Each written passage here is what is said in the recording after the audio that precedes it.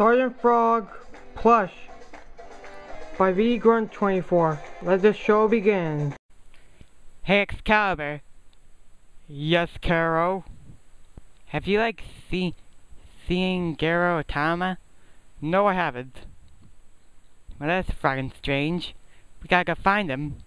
Very well. You think to say to ditch Mr. Thornster and Garrett and Excalibur? Yeah, that's a good thing, Private.